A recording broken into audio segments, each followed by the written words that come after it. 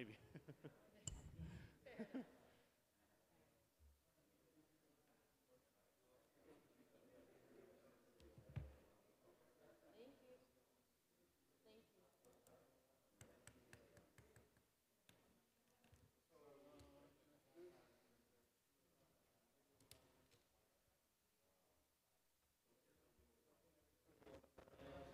Okay, good.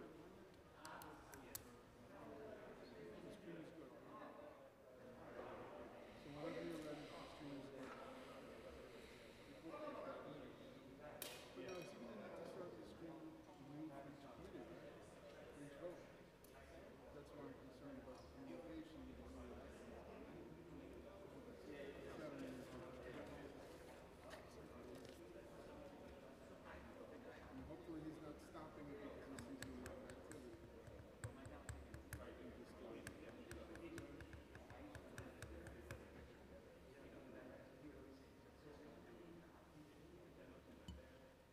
My sister was saying that we should- Yeah, I was concerned about stopping and starting in, in, in real time. We might have to, like, there's gonna be set up here. Oh, Is that- it did it, it did it again. Yeah, It started from the beginning. so it's set up. That's, I think that's my connection.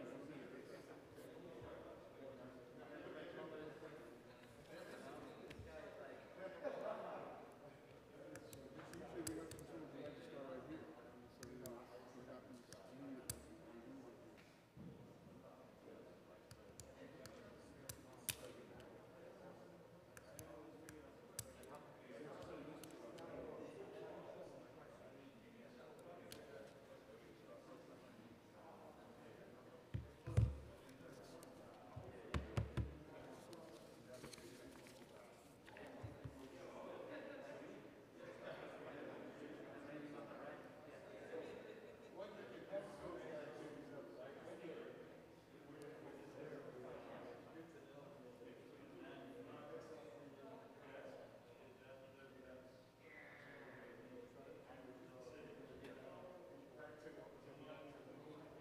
Oh, wait, it's, it's completely the same thing, JD Wolford from there. I don't think it's, it's not live.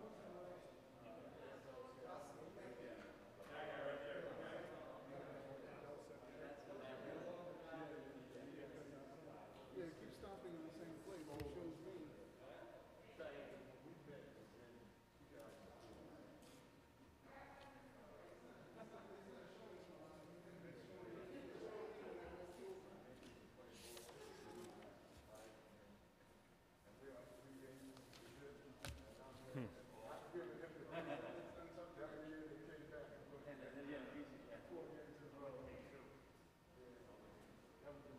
Is that what you say works better? Supposedly? It's working. And this is the one with the, um, the Chrome? Yeah. Okay, so Chrome works better. Ironic. All right, awesome. So, please, good.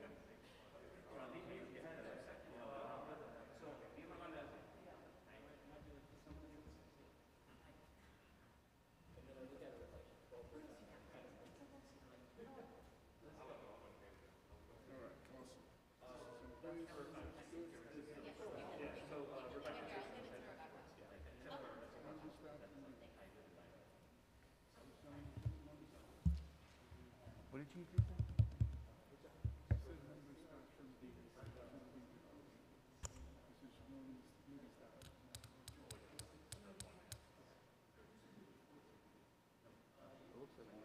I think, yeah, I think it is, I think he should start. He told me he was- He's good. Right, right.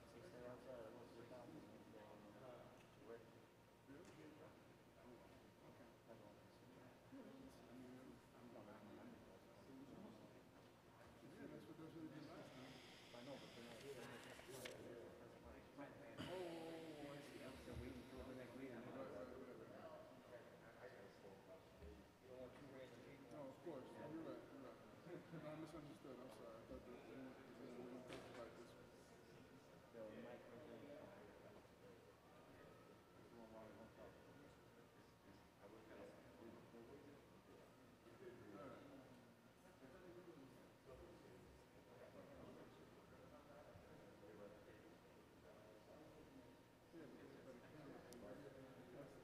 ready to go, right?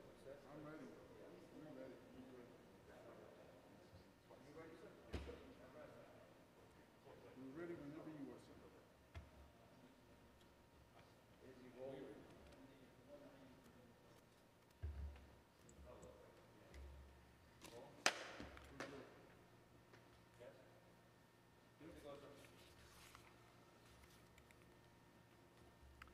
Ready to rock and Good morning. I'm Councilmember I. Daneek Miller, and I'm Chair of the Committee on Civil Service and Labor. I want to thank you for joining us today for a vote on 2252A.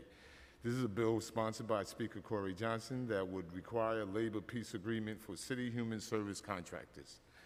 A labor peace agreement and arrangement is an arrangement between labor union and an employer in which both sides agree to waive certain rights for, under federal, law requiring, regarding union organizing and related to and any related activity. LPAs or labor uh, peace agreements frequently allow em- uh, employees to unionize and without interference from employer and also generally allow employers to operate without fear of work stoppage or boycotts. Often state, local, and go- governments will pass local ordinances to ensure LPAs as a condition of doing business.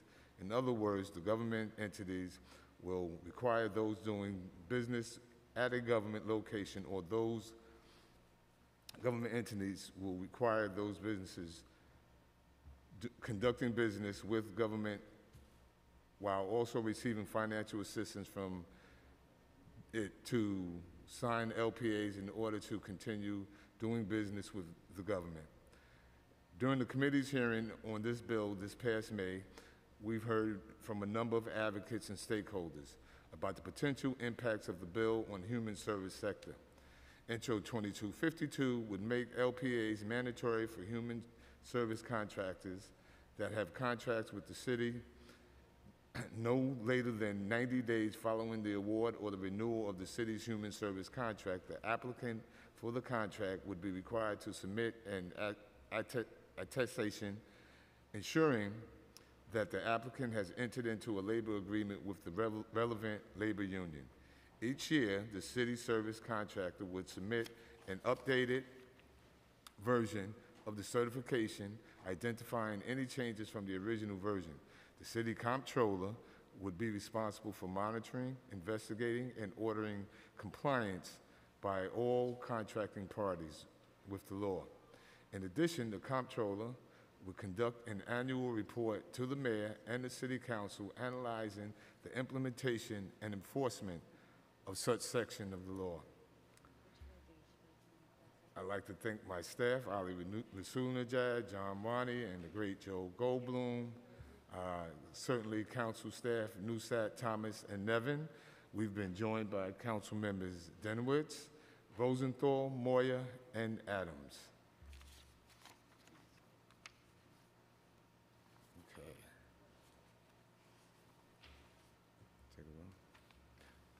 Does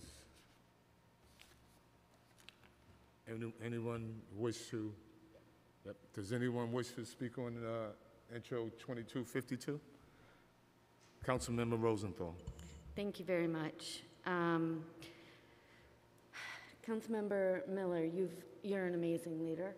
You're an amazing union leader. You've taught me so much about the power of union.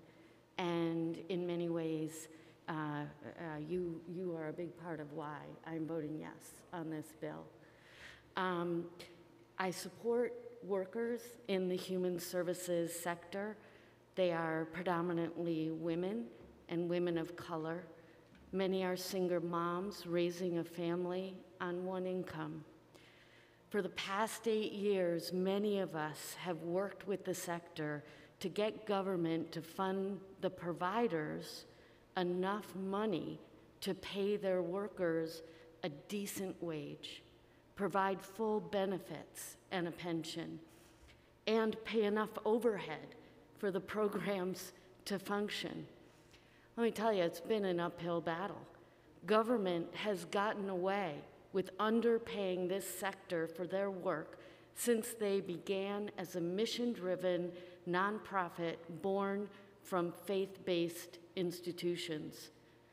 It's been a great ride for government. Cuomo is lauded for requiring a minimum wage of $15 an hour. I support that. We all support that. We're all very excited. But New York State contracts in the human services sector were never increased to pay those workers $15 an hour. Never increased. So the man who made the mandate happen never funded the nonprofits that government is contracts with to do the work to pay those workers $15 an hour, putting the nonprofits in an untenable situation. Similarly, our own Mayor de Blasio is lauded for free UPK. I, I too am delighted and excited. I remember being at several victory rallies. But city government underfunds the contract for nonprofits who uh, contract with the city to provide UPK.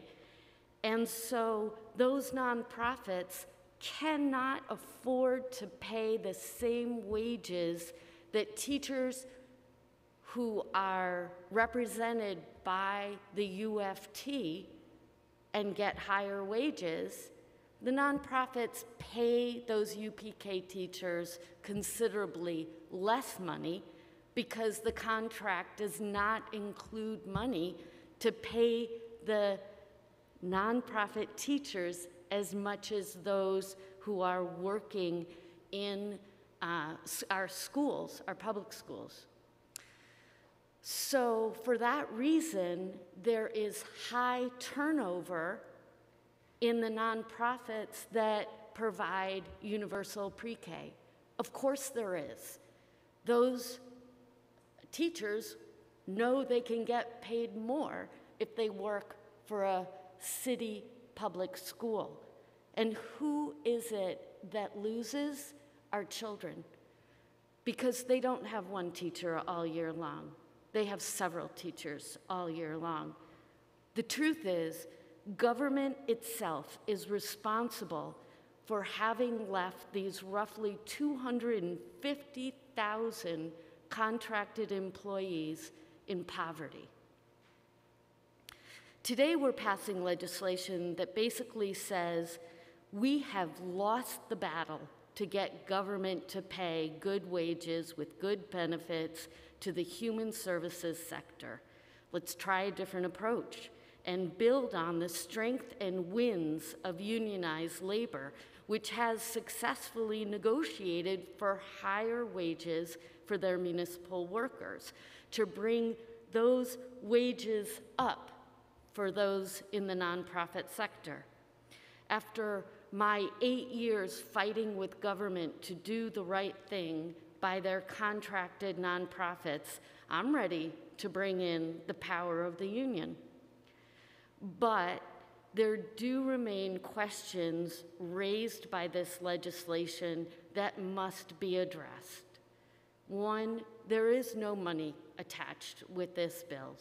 So if unions are able to negotiate to get better wages and benefits for their members, who pays for it? The nonprofit literally is capped and doesn't have the money to pay. And they will be put in the unfortunate situation of looking like the bad guy. Secondly, if two nonprofits provide the services and only one of the nonprofits is unionized and manages to get raises for those workers somehow, we could talk about ways, but somehow, it means that two nonprofits, possibly working, I know in my district, we're right across the park from another nonprofit that does the exact same work. So if one of the nonprofits, let's say on the east side, gets unionized, gets more money for their workers, and finds a way to pay those workers, what do you think is going to happen with the workers on my side of the park, on the Upper West Side, where they're not unionized and they're getting the same shabby wages that the contract, the government contract, allows them to pay? These are serious issues which must be resolved. And I've spoken with many people who have agreed to address those issues, and I, I look forward to that work. Thank you very much, Councilmember Miller, for giving me a chance to explain my vote. Thank you so much, uh, Councilmember Rosenthal. Any other members of the committee like to speak? I want to thank you for, for your ongoing advocacy over the past seven and a half years on behalf of human service workers. You've been unrelentless uh, in, in doing so. Um, you have been their voice, but um, for, for seven and a half years on this committee, we have submitted that the best way to support workers is through the right to organize and the right to supporting collective bargaining. Um, what we have seen is uh, individual uh, workers not having the um, resources and the ability to negotiate and comp- fair compensation on their behalf. And so, um, again, the tenets of the organized labor movement is the right to organize and the right to collective bargaining, and we support that.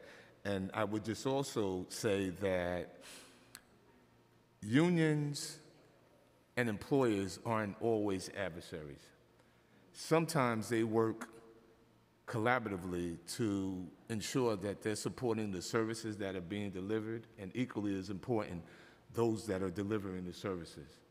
And so I, I, I look forward to that. I, I, know that you and I will both be paying attention to this, um, but this is a great day for, for human service workers here in the city of New York. So um, with that, William? Good morning, William Martin, Committee Clerk. Roll call vote, Committee on Civil Service and Labor. Proposed introduction 2252A. Chair Miller. I vote aye. Rosenthal. With reservations, I vote aye. Adams. Moya. I vote aye. Dinowitz. Aye. By a vote of five in the affirmative, zero in the negative, and no abstentions, item has been adopted by the committee.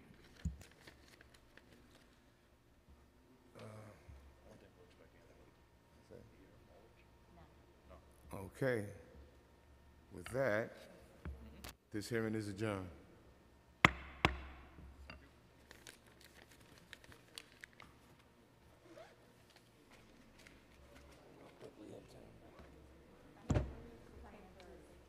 Finance and rules are next. I don't know which is first. I think finance.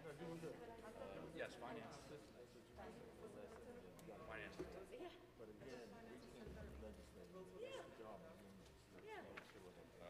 Yeah, yeah, yeah. Let me double check with the sergeant.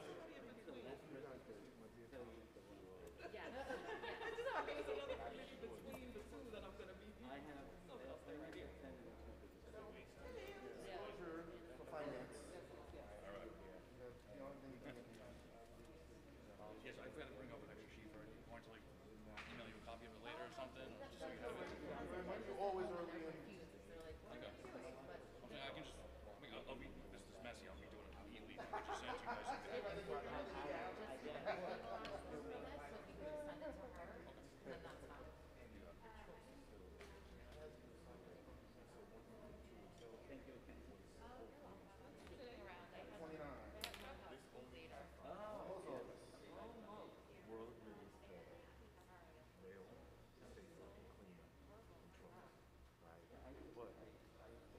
If you were already doing it, grandfathered and you were exempt. No language to support people who now want to do it, right? So we were working on that. And, and so now they're prepared and, and we just need for, for the language to say it is okay for them to move, uh, the garbage by rail. And, and, and it's, it's, it's as simple as that. Um, and it, it just whatever was done, I, I don't believe that we would have gotten here, aside from just the demolishing the buildings that are there now and the buildings, state-of-the-art building, educational component, like really something to be proud of. Um, but I, I think the real basic foundation is that it's simply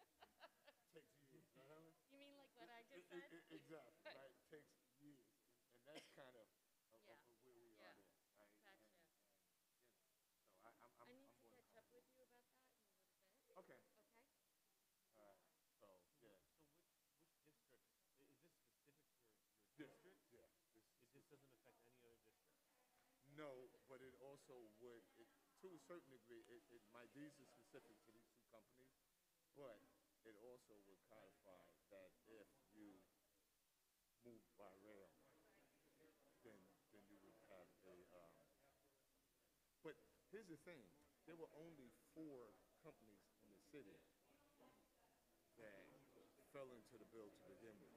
So it really doesn't affect anybody else, right? South Bronx, South Brooklyn, Brooklyn, and Southeast Queens, right? Those were the, the, the four communities that were responsible for eighty percent of the dollars.